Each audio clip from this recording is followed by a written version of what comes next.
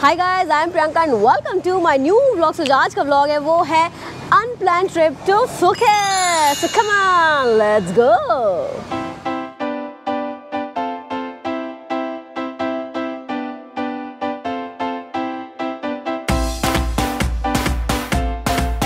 So guys Phuket का ये trip तो बहुत ही ज़्यादा अनप्लान था। और मेरा दोस्त अभिमन्यु तो इंडिया वापस चला गया। बट मैं जा रही हूँ फुकेत घूमने। पता है क्यों? क्योंकि भाई फ़्लाइट के टिकटें और होटल इतने रीजनेबल थे कि मैंने सोचा थाईलैंड आया तो फुकेट जाना तो बनता है। तो हेयर आई एम सो मैं हूँ समय बैंकॉक के डॉन म्यूंग एयरपोर्ट पे। और यहाँ तक गाइस मैं कैसे पहुँची? मैं ही जानती हूँ। सुबह सुबह भागा दौड़ी करते हुए ट्रैफ़िक को चीरते हुए दौड़ भाग करते हुए एयरपोर्ट के अंदर भी फाइनली अब यहाँ पहुँची हूँ। वो भी भूखे पेट सुबह सुबह कुछ नहीं खाया है। तो यहाँ पे मुझे दिख रहा है मिराकल लाउंज अगर मिराकलसली मेरा कार्ड यहाँ पे चल जाएगा ना तो चलो कुछ खाते, पीते और थोड़ा सा आराम करते क्योंकि अब दौड़ते दौड़ते तो गाइस मेरी भी सांस फूलने लगी। तो चलो, चल के करते हैं पेट पूजा और फिर करेंगे सीधे फ़्लाइट पे बोर्ड आ जाओ आ जाओ।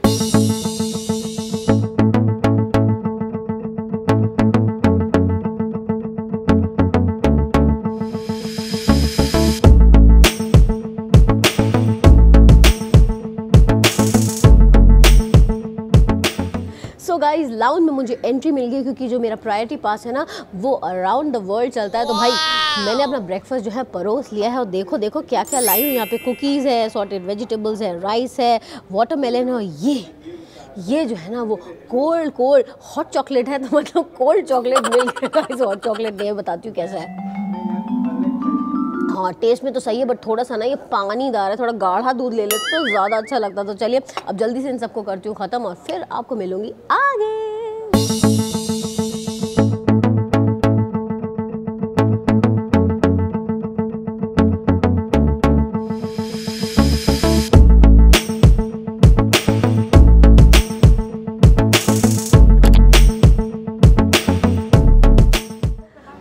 Welcome to Phuket. So guys finally मैं फुकेट पहुँच गई हूँ। फ़्लाइट बहुत ही कंफर्टेबल थी। डेढ़ घंटे की एयर एशिया की फ़्लाइट थी और मैं आराम से सोते सोते सोते सोते यहाँ फुकेट में पहुँच गई हूँ। तो गाइस मैं अपने बैगेज का इंतज़ार कर रही हूँ और अब सीधे आपको मिलती हूँ बाहर कि यहाँ से होटल कैसे जाऊँगी।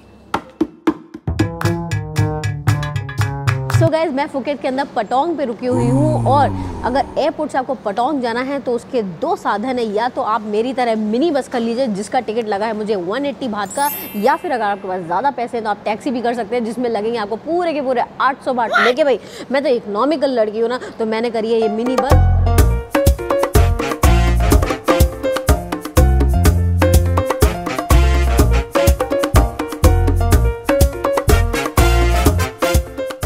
सो गाइस फाइनली मैं पहुँच गई हूँ अपने होटल और फुकेट में। मुझे पटोंग में रुकना बेहद पसंद है तो यहाँ पे मैं रुकी हुई हूँ फोर पॉइंट शेरेटन में, जो ना एकदम बीच फेसिंग होटल है गाइस तो देखिए, यहाँ इनके इन्फिनिटी पूल से दिखता है पटोंग बीच एंड कितना बड़ा और कितना सुंदर एंड सबसे अच्छी बात, कितना साफ़ सुथरा बीच यहाँ से दिख रहा है। मतलब ये देखते ही ना, मेरे को अंदर से बहुत खुशी हो रही है गाइस तो चलिए भाई चेक इन वेक इन करते हैं और सबसे पहले आपको दिखाती हूँ मैं अपना रूम आ जाओ।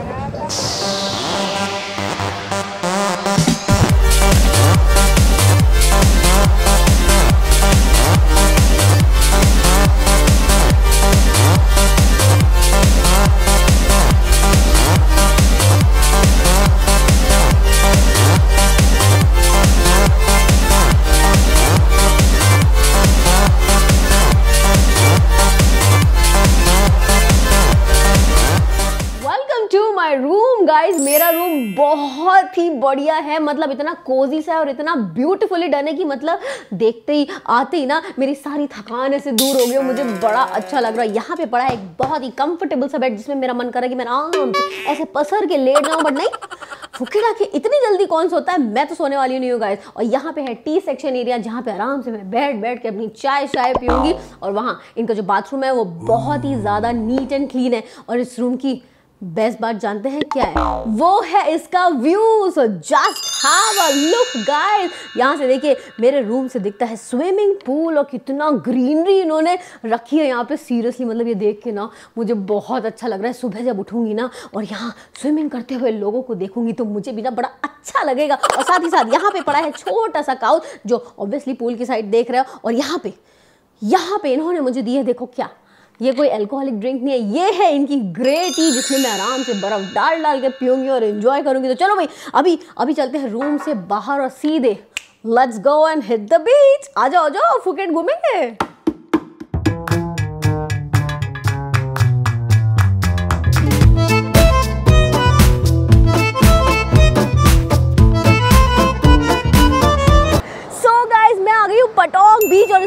आने के लिए मैंने करा है पूरे के पूरे दो साल इंतज़ार।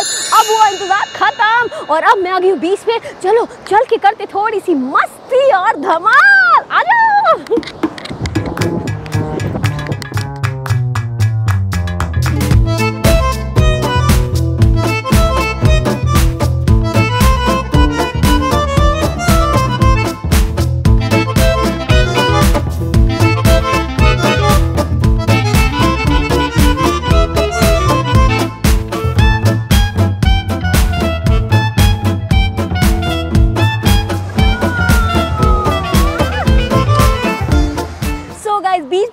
रात हो गई और रात को मैं सीधे आ गई हूँ डिनर करने सेयर्स एंड कंपनी के अंदर जो कि शेरेटन का ही एक स्पेशलिटी रेस्टोरेंट एंड गाइस यहाँ पे ना, मैंने तो आउटडोर बैठना प्रेफर करा है क्योंकि ये जो रेस्टोरेंट है ना, सीधे पटोंग बीच के ऑपोजिट है। यहाँ पे चल रही ठंडी ठंडी हवा। वैसे जो इनकी इंडोर सिटिंग भी है ना, वो भी बहुत ही कूल और बहुत ही वाइब्रेंट सी है। But I prefer to sit here तो चलो अभी डिनर का ऑर्डर मैंने दे दिया है। I am just waiting for my dinner to come so guys my dinner is यहाँ पे मंगाई है मैंने बहुत सारी चीज़ें, जिसमें से सारी ही ना मेरी फेवरेट है। So just have a look यहाँ पे आया है मेरा पसंदीदा पिज्जा पिज्जा इसके अंदर बहुत सारी टॉपिंग्स डली हुई हैं। गाजर है ब्रोकली है आटी चौक है और पता नहीं और क्या क्या डला हुआ है।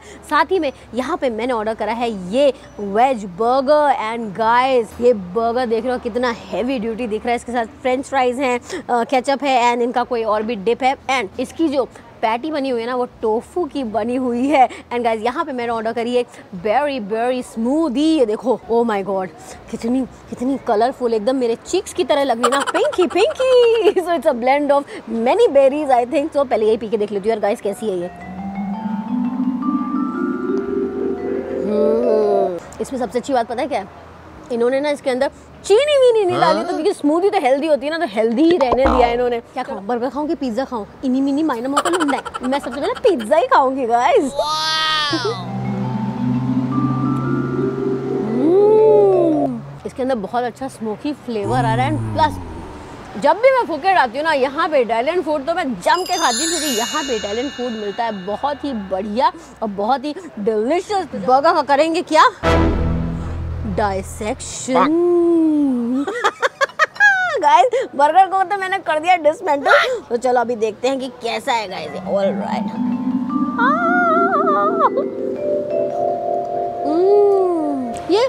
इतना सॉफ्ट इतना बढ़िया इनका बर्गर पैटी है सच्ची है मतलब बैंकॉक के अंदर ना तो मुझे वेजिटेरियन बर्गर मिला ही नहीं गया। इतनी मुश्किल इतनी मुश्किल हुई मुझे वो चैलेंज करने में बट यहाँ फुकेट आते ही देखो सबसे पहली चीज़ मुझे वेजिटेबल वेजिटेबल बोल रही वेजिटेरियन बर्गर मिल गया। और पैटी भी वाकई कमाल की इसके अंदर क्या स्वाद है यार। सच्ची यार मेरा दिल खुश हो गया खाना खा गए तो चलो भाई अब इन सबको करती हूँ मैं जल्दी से ख़त्म और फिर आपको मिलूँगी कहीं और ढलते घूमते गाइस खाना वाना तो बहुत हो गया क्योंकि इतना अच्छा था तो मैं इतना सारा खा गई कि अब पेट ना सच्ची बहुत भर गया और आज ना ट्रैवलिंग इतनी ज़्यादा हो गई कि अब मैं बिल्कुल थक चुकी हूँ। अब मैं सीधे जा रही हूँ अपने रूम में आराम करने। तो अब मैं मिलूँगी आपको सीधे कल सुबह। तब तक के लिए गुड नाइट